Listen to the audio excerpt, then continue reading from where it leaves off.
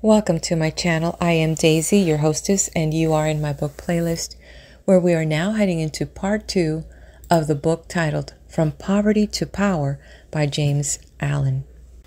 He was born in England, and sometime in the 1800s, his father came to America and he was murdered.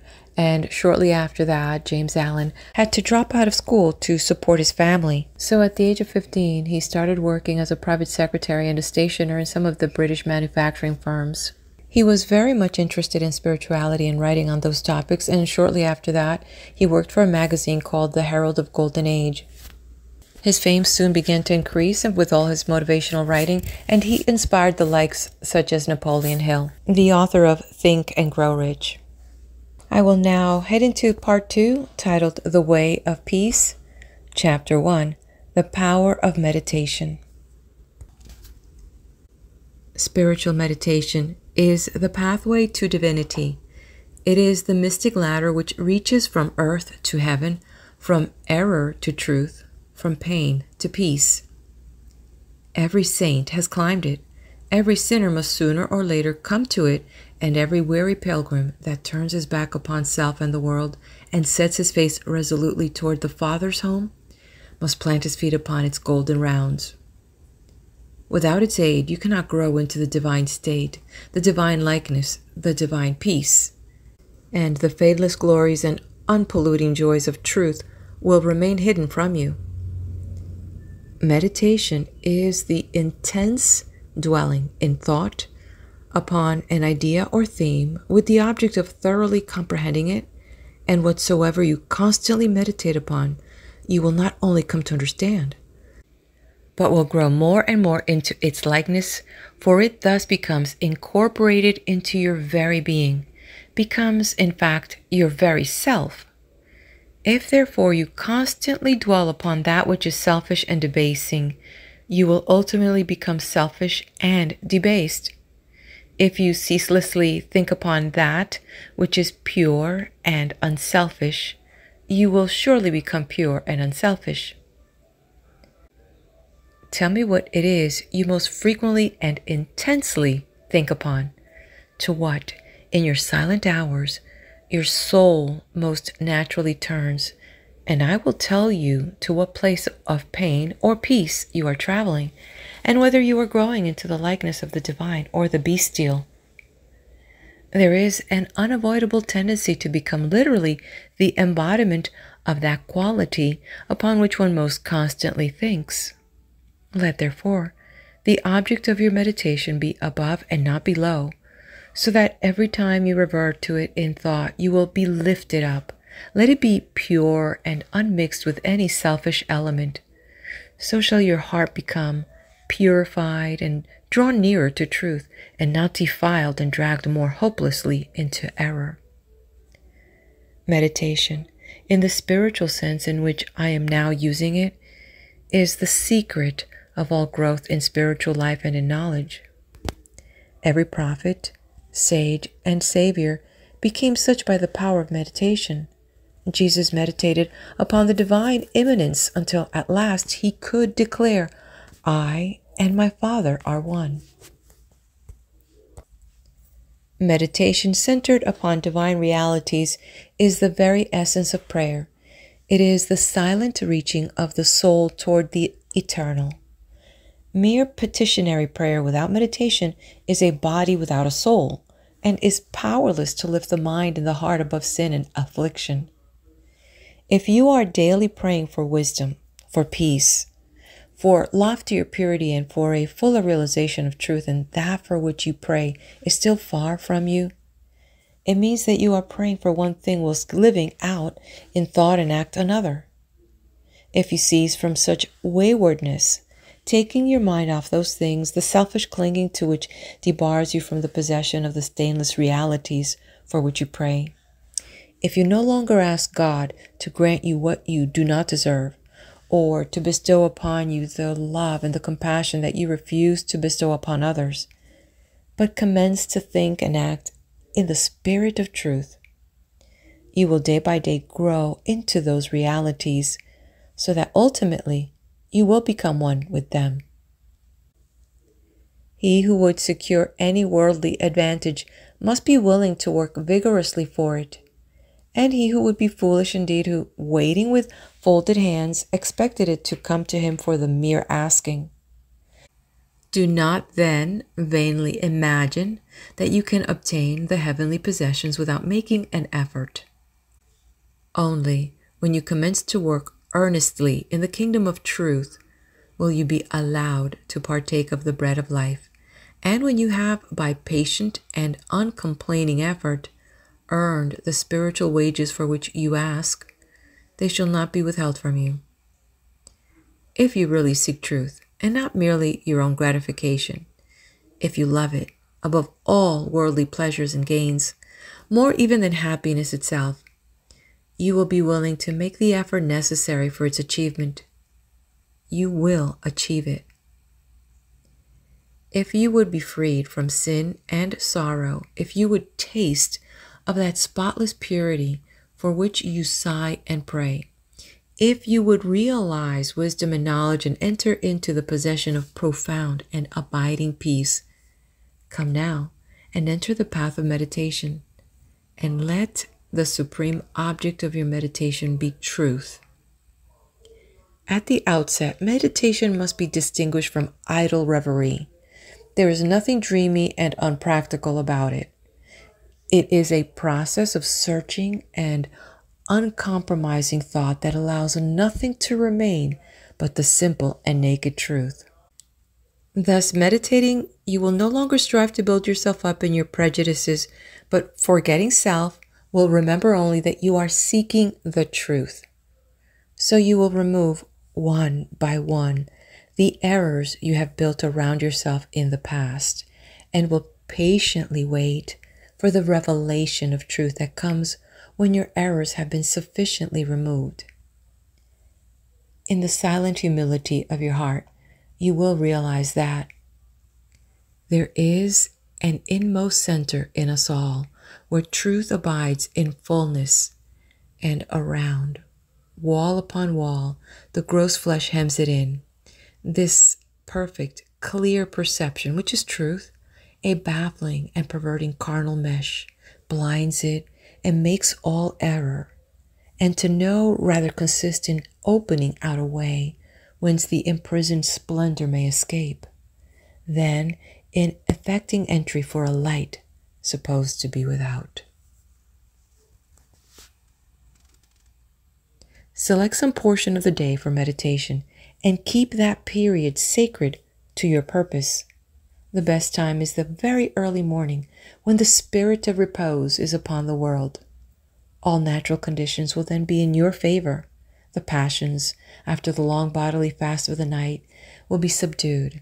The excitements and worries of previous day will have died away, and the mind, strong and yet restful, will be receptive to spiritual instruction. Indeed, one of the first efforts you will be called upon to make will be to shake off lethargy and indulgence. And if you refuse, you will be unable to advance, for the demands of the Spirit are imperative. To be awakened spiritually is also to be awakened mentally and physically. The sluggard and the self indulgent can have no knowledge of truth. He who, possessed of health and strength, wastes the calm, precious hours of the silent morning in drowsy indulgence is wholly unfit to climb the heavenly heights.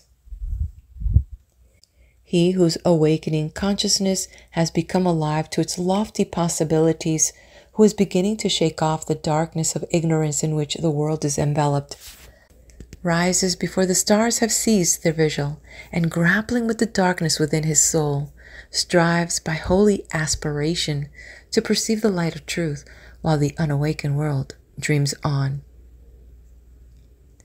The heights by great men reached and kept were not attained by sudden flight, but they, while their companions slept, were toiling upward in the night.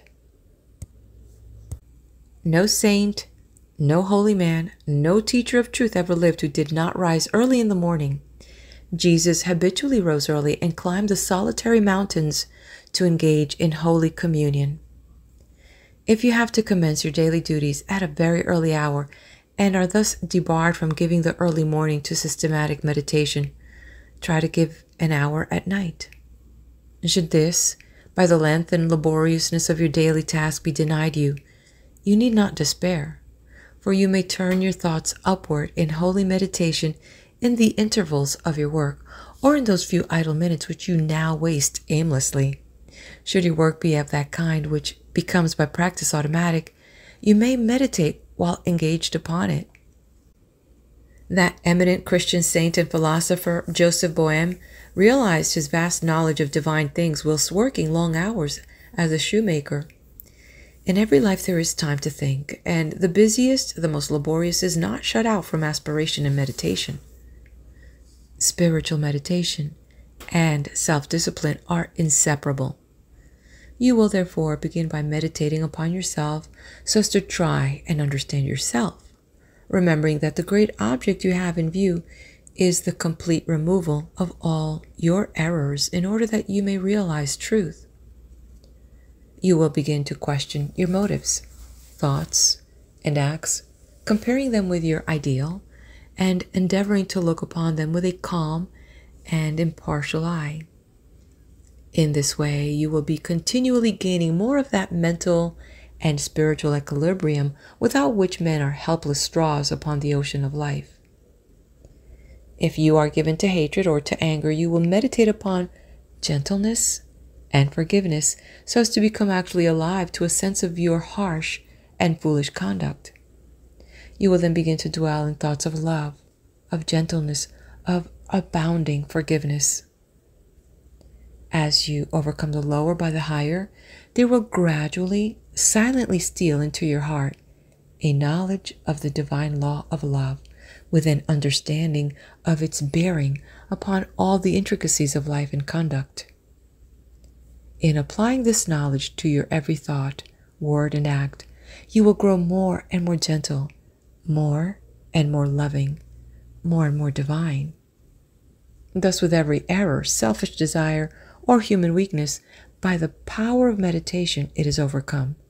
And as each sin, each error is thrust out, a fuller and a clearer measure of the light of truth illumines the pilgrim's soul. Thus, meditating, you will be ceaselessly fortifying yourself against your only real enemy, your selfish, perishable self, and will be establishing yourself more and more firmly in the divine and imperishable self that is imperishable from truth. The direct outcome of your meditations will be a calm spiritual strength that will be your stay and resting place in the struggle of life. Great is the overcoming power of holy thought and the strength and the knowledge gained in the hour of silent meditation will enrich the soul with saving remembrance in the hour of strife, of sorrow, or of temptation. As, by the power of meditation, you grow in wisdom, you will relinquish more and more your selfish desires, which are fickle, impermanent, and productive of sorrow and pain, and will take your stand with increasing steadfastness and trust upon unchangeable principles and will realize heavenly rest. The use of meditation is the acquirement of a knowledge of eternal principles, and the power which results from meditation is the ability to rest upon and trust those principles and so become one with the eternal. The end of meditation is, therefore, direct knowledge of truth, God, and the realization of divine and profound peace. Let your meditation take their rise from the ethical ground which you now occupy. Remember that you are to grow into truth by steady perseverance. If you are an Orthodox Christian, meditate ceaselessly upon the spotless purity and divine excellence of the character of Jesus, and apply his every precept to your inner life and outward conduct so as to approximate more and more toward his perfection. Do not be as those religious ones who, refusing to meditate upon the law of truth and to put into practice the precepts given to them by their master, are content to formally worship, to cling to their particular creeds, and to continue in the ceaselessly round of sin and suffering. Strive to rise by the power of meditation above all selfish clinging to partial gods or party creeds, above dead formalities and lifeless ignorance. Thus, walking the high way of wisdom with mind fixed upon the spotless truth, you shall know no halting place short of the realization of truth. He who earnestly meditates first perceives a truth as it were afar off and then realizes it by daily practice. It is only the doer of the word of truth that can know of the doctrine of truth, for though by pure thought the truth is perceived, it is only actualized by practice. Said the divine Gautama the Buddha, He who gives himself up to vanity and does not give himself up to meditation, forgetting the real aim of life and grasping at pleasure, will in time envy him who has exerted himself in meditation. And he instructed his disciples in the following five great meditations. The first meditation is the meditation of love, in which you so adjust your heart that you long for the weal and welfare of all beings, including the happiness of your enemies. The second meditation is the meditation of pity, in which you think of all beings in distress, vividly representing in your imagination their sorrows and anxieties so as to arouse a deep compassion for them in your soul.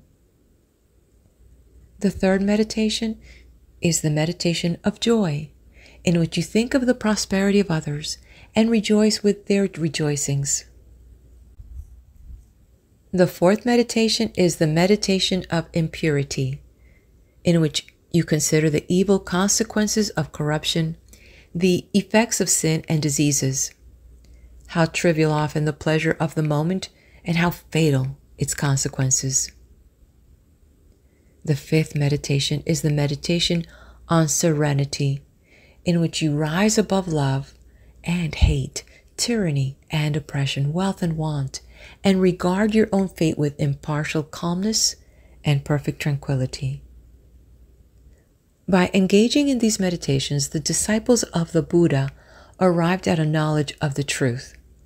But whether you engage in these particular meditations or not matters little so long as your object is truth, so long as you hunger and thirst for that righteousness which is a holy heart and a blameless life. In your meditations, therefore, let your heart grow and expand with ever broadening love until, free from all hatred and passion and condemnation, it embraces the whole universe with thoughtful tenderness.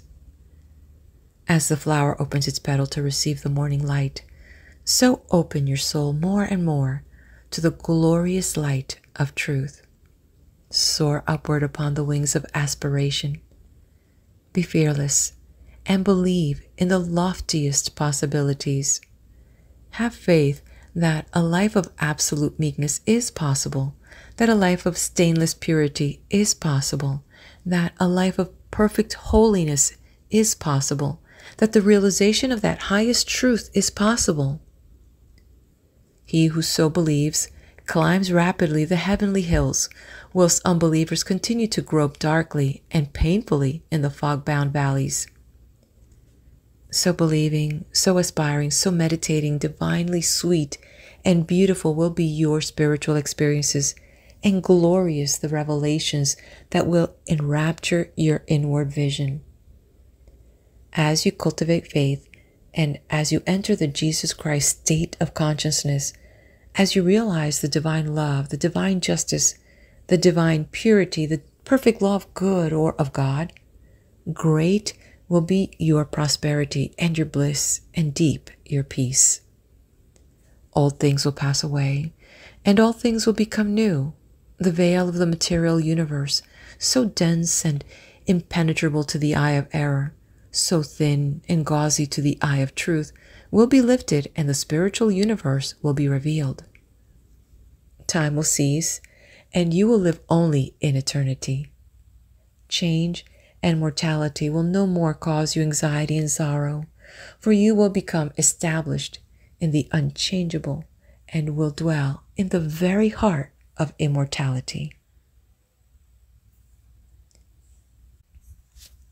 Star of Wisdom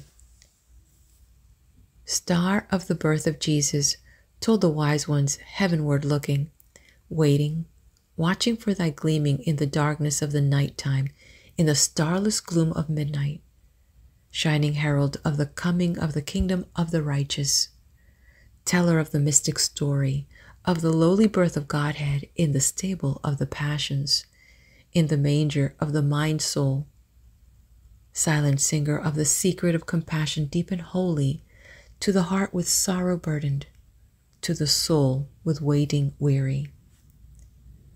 The star of all surpassing brightness, thou again dost deck the midnight, thou again dost cheer the wise ones watching in the creedal darkness. Weary of the endless battle with the grinding blades of error, tired of lifeless, useless idols, of the dead forms of religions, spent with watching for thy shining, thou hast ended their despairing, thou hast lighted up their pathway, thou hast brought again the old truths to the hearts of all thy watchers.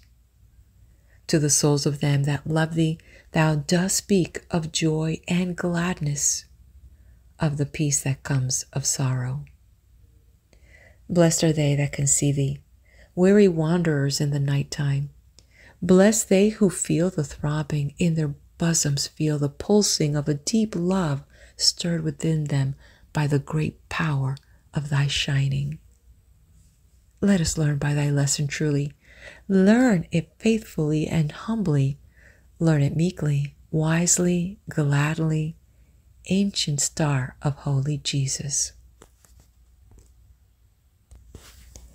End of chapter 1, part 2. All right, hit that like button. Subscribe to the channel. Head over to the next video. I will be there with the two masters, self and truth.